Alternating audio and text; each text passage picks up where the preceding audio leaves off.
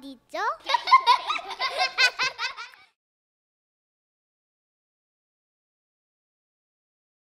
안녕하세요, 선현이 천식 오빠.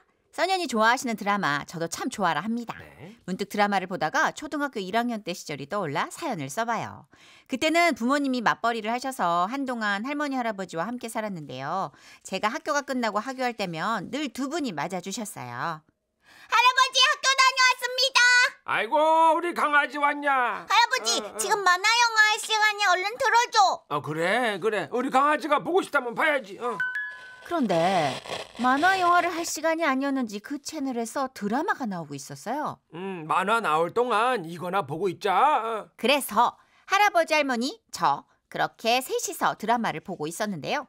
드라마 주인공 남녀가 갑자기 막 싸우더니 벼랑간 키스를 막 하기 시작하는 거예요. 아유 아니 이게 이게 왜 이게 할아버지 저거 왜 그래? 왜 저렇게 막 괴롭히는 거야? 아니 잠깐 이, 이게 왜 안 안 돌아가냐 이게? 아이고 진짜. 인간 지금 생각이 있는 게 없는 게 어? 애가 지금 보는데 얼른 꺼. 아이고 알았어. 아이고 아유 TV가 꺼졌고 방은 어색한 침묵으로 가득 차 숨이 턱턱 막혔습니다. 어색함을 깨려고 제가 말을 했죠. 아, 할아버지, 어, 만화 틀어줘, 얼른 만화.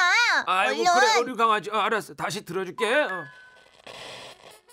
어 아이고 야 세, 아이고 세상에나 이게 아이고. 아이고 저 저것들이 왜 저, 저 러고 있냐? 이런 아까 아이고. 키스를 하던 남자 주인공, 여자 주인공이 무슨 일인지 우통을 벗고 있었어요.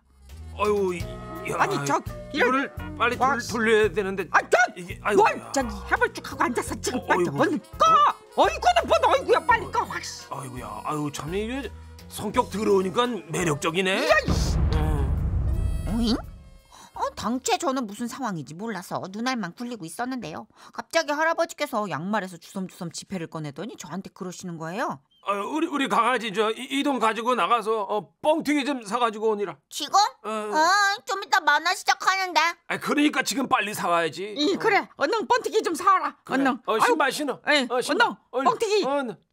믿었던 할머니마저 저에게 뻥튀기를 사오라고 하셨고 저는 마지못해 천 원짜리 지폐를 들고 후다닥 나왔어요. 그리고 이제 다녀와가지고 문을 열려고 하는데 안 열려요. 할아버지, 할머니, 나 왔어. 뻥튀기 사가지고 왔어. 아 왜 문을 잠가? 얼른 문 열어줘. 아, 아 그래 여, 여, 열어줄게. 자, 자, 야 잠깐 잠깐만. 에이, 어. 잠깐만 어. 그러면서 문을 열어주셨는데 할아버지는 차인 표시 버금가는 분노의 양치질을 하고 계셨던 거예요. 아야야야 더럽게 빨렸네. 아유 아직 으, 시도도 못했는데 그러게 할망구 그냥 같이 닦자니까 먼저 닦아가지고 그거를. 그때까지만 해도 할아버지께서 왜 그렇게까지 분노하셨는지 몰랐는데요. 며칠 뒤 제 한글 공부를 가르쳐 주셨는데 스키라는 글자였어요. 자 우리 강아지 이 글자가 뭐야 읽어 봐. 스, 어 그럼 그 옆에 글자는 뭐야? 키, 어 그래 그럼 붙여서 읽어 봐. 스키, 옳지 잘한다 우리 강아지. 어. 스키, 스키, 스키, 스키, 스키, 스키, 스키, 스키, 스키, 스키, 스키, 스키. 아유. 어. 왜 그런지 당초에 몰랐는데 또 숨막히는 침묵이 이어졌죠. 그리고는 또 양말에서 지폐를 꺼내서 뻥튀기를 사오라고 하다가 고개를 저으면서 말씀하시는 거예요. 어, 아유 아니다. 어, 너 여기서 한글 공부하고 있어라. 어? 왜? 아니 저 할머니랑 이게 기니 할 말이 있으니까. 어. 아. 저 어, 공부하고 있어. 어. 할머, 저 잠깐 변 변소로 나와봐. 그리하여 할아버지는 1층 밖에 있는 화장실로 가셨는데요. 뒤 이어서 할머니께서 살금살금 화장실로 들어가시는 걸 봤어요. 저는 호기심에 두 분이 무슨 비밀 얘기를 하나 엿들었죠. 마침 그 화장실 문 위쪽이 반투명 유리였거든요. 네. 대충 형상이 보이는데 어린 제 눈에 어떻게 보였냐면요. 할아버지가 할머니 뒤통수를 잡고 이렇게 뺑그르르 뺑그르르 상모 돌리기를 하시는 것처럼 보였어요.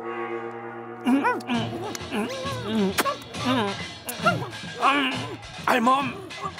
우와, 왜 할아버지 할머니는 몰래 풍악놀이 연습을 하시는 거지?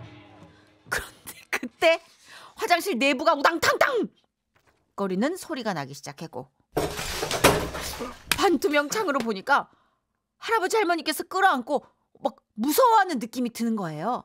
어, 어, 어, 어, 순간적으로 생각했죠. 이건 쥐다.